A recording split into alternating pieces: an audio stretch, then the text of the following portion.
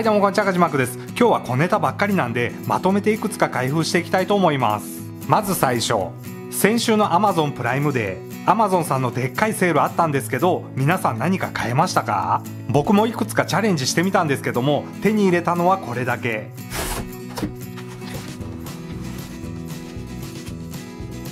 日本サムスン正規品の SD カードとマイクロ SD カードだけでした。って言ってもこれ Amazon プライムデーのタイムサービス的な扱いのものだったんで勝ち取ったとは言えないですよね。でも今見てみると結構な金額してるんで。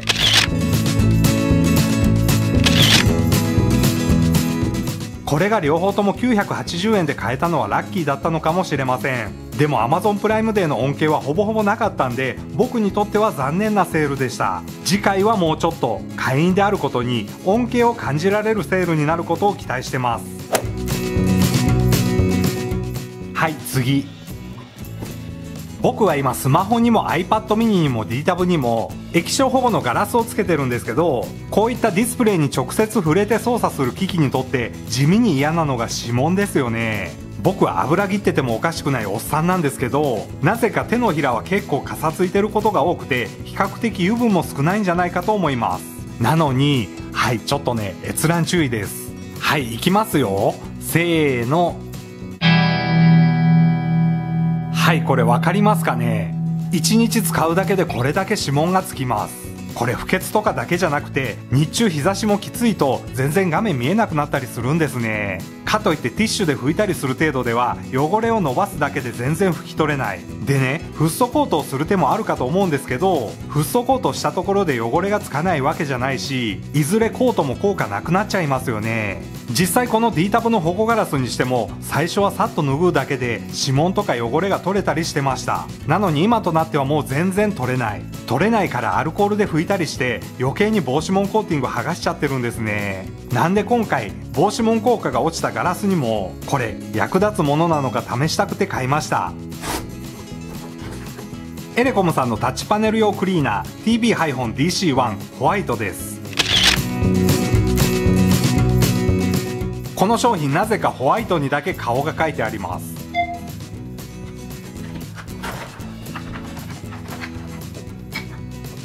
でこれ見た目通りここでディスプレイを拭き取るんですけどこれがマイクロファイバーなんでしっかり汚れをかき取ることができるそうです。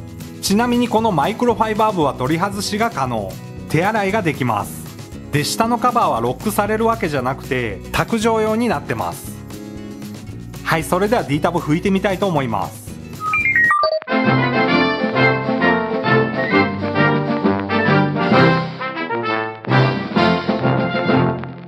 はいこれ分かりますかね？思った以上に綺麗になりました。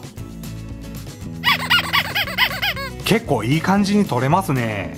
ぶっちゃけあんまり期待してなかったんですけど。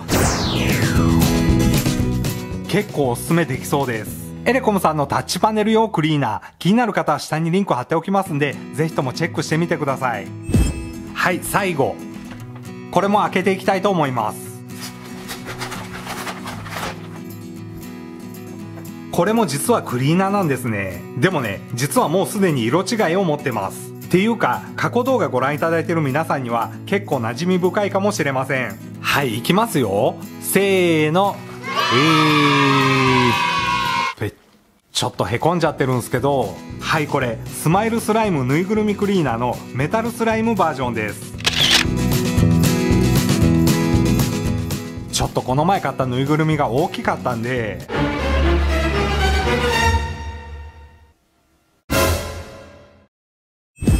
とりあえず Mac mini に似合いそうなメタルスライムを買ってみました。はい外観はこんな感じ。でもしかしたらご存知ない方もいらっしゃるかもしれませんけどさっきもお話しした通りこれディスプレイクリーナーなんですね。この底面の部分ここでディスプレイを拭けるようになってます。でもねこいつは水濡れ厳禁。つまり汚れたらポイするしかないっていうね。なんで僕はたまにしか使いません。てかほんと今月の買い物やばくないっすか？変なもんばっかり買ってますよね。ですよね。はいということで小ネタばかり3つ商品開封してみました。今日ご紹介した商品全部下にリンク貼っておきますんで気になる方はチェックしてみてください。あで最後にちょっとだけお話ししたいことがあります。いつも動画にコメントいただいてる皆様本当にありがとうございます。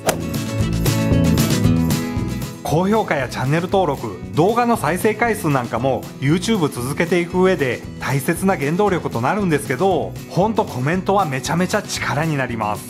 でそのいただいたコメントに返信できない方が毎回数人いらっしゃるんですね。僕は正直このややこしいシステムは早く改正してほしいと思ってるんですけど YouTube でコメントするアカウントと Google プラスを紐付けしてない方は動画にされたコメントに対して誰も返信できない仕様になってるんですね。今のところ僕はうっかり以外全ての方に返信したいと思ってます。できればコメント返信できるようにご自身の設定見直していただけると嬉しいです。一応参考になりそうなリンク下に貼っておきますんで全然返信ないなって思われてる方はぜひともチェックしてみてください。でこれからもたくさんのコメントお待ちしてますんでどうぞよろしくお願いいたします。はい今日も最後までご覧いただきありがとうございました。また次の動画でお会いしましょう。かじまくでした。